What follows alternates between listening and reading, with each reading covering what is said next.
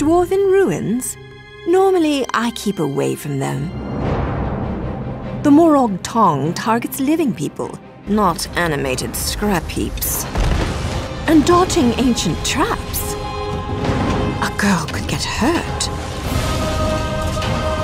But you've met that ruin crawler, Narcissus so you know. Somebody's going to want us to kill that s'wit. And then you just have to go where the prey goes.